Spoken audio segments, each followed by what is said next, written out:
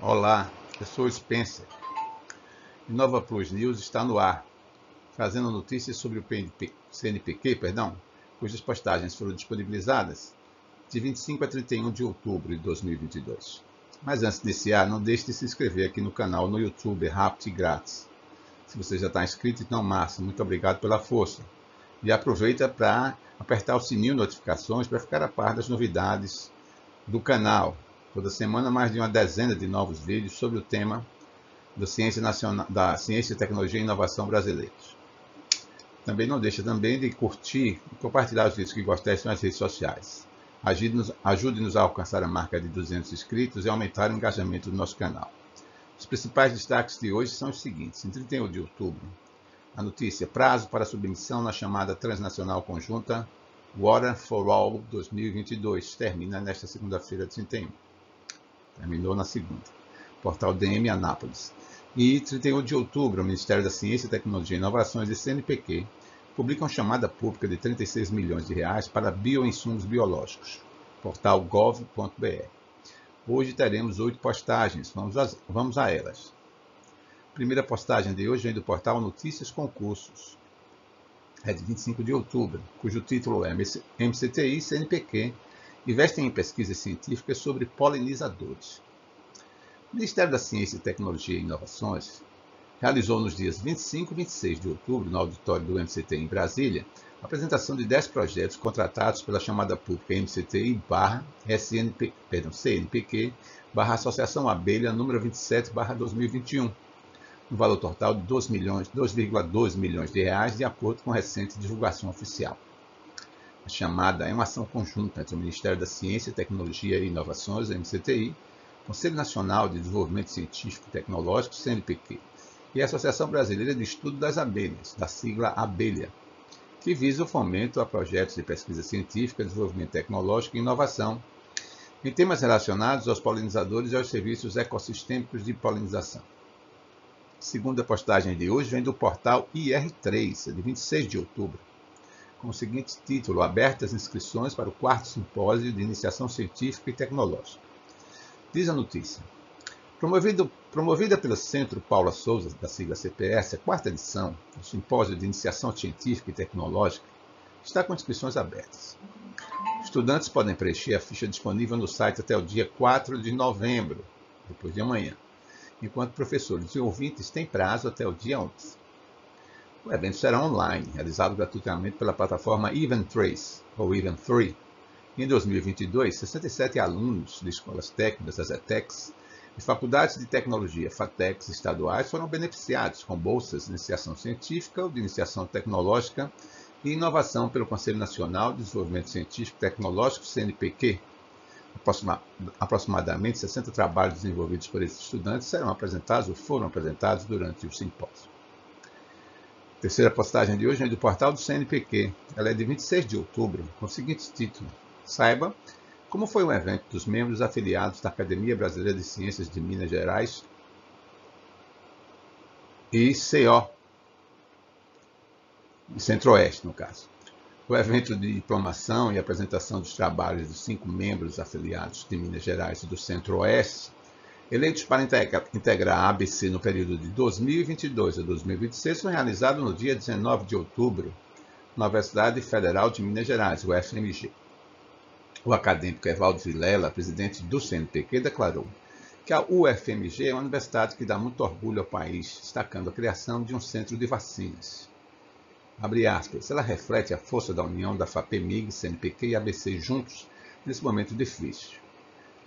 Essa atenção que a ABC dá aos jovens talentos do Brasil é um exemplo. É pouco para o que o país precisa, mas é muito importante, afirmou ele. Fecha aspas. Ainda é uma juventude extremamente capaz e talentosa que domina as ferramentas digitais. Temos trabalhado com esses jovens cientistas com grande protagonismo deles, que têm contribuído muito voluntariamente nas ações do CNPq, arrematou. Quarta postagem de hoje vem do Portal da Indústria. É de 27 de outubro. IEL tem 90 vagas abertas no Inova Talentos. De acordo com o portal da indústria, o Inova Talentos, criado pelo Instituto Elval do Lodge IEL, está com 90 vagas abertas para bolsistas por todo o Brasil. O programa é realizado em parceria com o Conselho Nacional de Desenvolvimento Científico e Tecnológico, CNPq, e com o Instituto de Pesquisas Tecnológicas, o IPT, para incentivar a participação de estudantes e egressos do ensino superior em projetos de pesquisa, desenvolvimento e inovação, PDI. Contrato do bolsista varia de acordo com a instituição de pesquisa parceira. Quando o projeto tem o apoio do CNPq, os bolsistas atuam no projeto durante pelo menos 12 meses, que podem ser estendidos por mais 12 meses. No caso do IPT, as bolsas têm duração mínima de 6 e podem durar até 24 meses. O programa possui duas vertentes, uma em parceria com o IPT e outra desenvolvida com o CNPq. Ambas estão com o edital aberto e aceitam inscrições de empresas, estudantes e egressos de faculdades. Quinta postagem de hoje é do portal Metrópolis, 27 de outubro, também sobre o mesmo tema. IEL oferece 90 bolsas de até 6,5 mil reais para Inova Talentos. De acordo com o Metrópolis, o Instituto Evaldo Lodge, IEL do Sistema Fibra, está com 90 vagas abertas para bolsistas de todo o Brasil. O programa Inova Talentos tem, como objetivo incentivar a participação de estudantes e egressos do ensino superior em projetos de pesquisa, desenvolvimento e inovação. O projeto é uma parceria do IEL, do IEL perdão, com o Conselho Nacional de Desenvolvimento Científico e Tecnológico, CNPq, e com o Instituto de Pesquisas Tecnológicas, IPT. Sexta postagem de hoje vem do portal da revista Veja. É de 28 de outubro. Professores da UFRJ redigem carta contra o governo Bolsonaro. Às vésperas do segundo turno, essa notícia foi anterior à eleição do domingo de Lula, entre Lula e Jair Bolsonaro, professores eméritos da Universidade Federal do Rio de Janeiro, uma das mais prestigiadas do país, publicaram uma carta declarando oposição ao governo federal alguns trechos da carta. Nós, professores eméritos da Universidade Federal do Rio de Janeiro, vimos a público manifestar nossa total indignação frente aos desmandos do atual governo, claramente empenhado em asfixiar as universidades federais e em desmontar o Sistema Nacional de Ciência e Tecnologia, durante, duramente construído e continuamente aperfeiçoado desde o ano de 1951, quando da criação do Conselho Nacional de Desenvolvimento Científico e Tecnológico, CNPq. O governo atinge este objetivo ao retirar verbas das universidades federais, comprometendo seriamente seu funcionamento. Da mesma forma, em relação à CAPES, ao CNPq e ao FNDCT, reduzindo drasticamente os auxílios às pesquisas e a concessão de bolsas para pós-graduantes, fragilizando a educação superior e a ciência como um todo. Como consequência disto, vemos nos nossos mais brilhantes jovens pesquisadores emigrarem para países mais ricos, a fim de avançar em suas pesquisas, uma vez que isso se tornou impossível no Brasil resultado desse monstruoso corte de verbas. Sétima postagem de hoje é do portal DM Anápolis. Ela é de 31 de outubro. prazo para a submissão da chamada transnacional conjunta Water for All 2022 2022 termina, terminou na segunda-feira 31. Os pesquisadores do Espírito Santo tiveram até segunda-feira 31 para submeter pré-propostas na chamada transnacional conjunta Water for All 2022. Fundação de Amparo à Pesquisa e Inovação do Espírito Santo, a FAPES, aderiu à chamada internacional e vai apoiar um projeto do Estado com valor de 50 mil euros.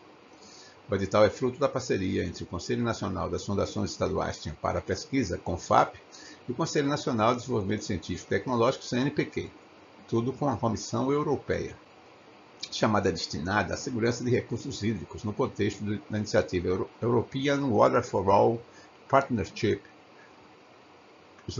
Horizon Europe. Última notícia de hoje vem do portal do governo federal, gov.br. Ministério da Ciência, Tecnologia e Inovações e CNPq publicam chamada de 36 milhões de reais para bioinsumos biológicos.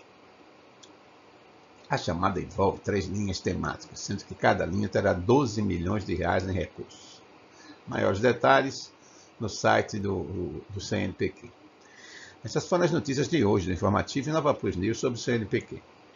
Não deixe de curtir e compartilhar os nossos vídeos em suas redes sociais. E também, se não fez ainda, se inscreva. Mais uma vez, obrigado. Paz e saúde a todos. Até a próxima edição do Nova Plus News.